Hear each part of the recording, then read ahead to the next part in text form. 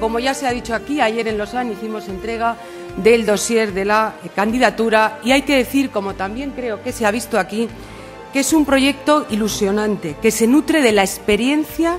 y del trabajo realizado por Madrid 2012 y por Madrid 2016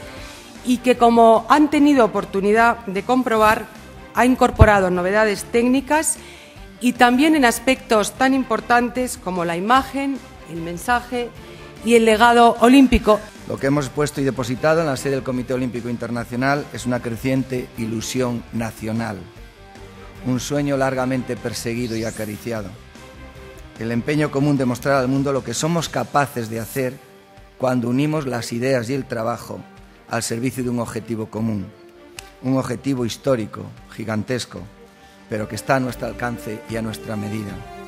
Es la participación moral, si se quiere, apoyando de todo el pueblo español, de la inmensa mayor parte de la ciudadanía española, a un proyecto en el que Madrid, pero detrás de Madrid España, llevan trabajando muchos años, en que se han hecho aportaciones de gran calidad, tanto en la candidatura de 2012 como en la candidatura de 2016 esas aportaciones de gran calidad creo que están subsumidas perfectamente en esta candidatura de 2020 como podríamos decir de una forma muy gráfica, yo creo sinceramente que ya nos toca. Y ello nos va a permitir situar a Madrid como una región de referencia mundial en la organización de grandes eventos, también como un polo de atracción turístico de primer orden y en definitiva como un polo de generación de riqueza eh, para todos, que es eh, una de las consecuencias más importantes de la celebración de estos Juegos.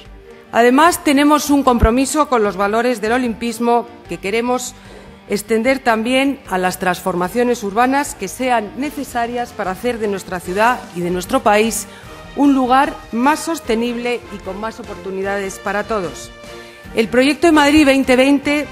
va más allá, como ya se ha dicho aquí, de los 59 días de competición porque el legado de los Juegos está diseñado para perdurar. Perdurará, como también se ha dicho aquí, en nuevas infraestructuras y en mejores entornos urbanos.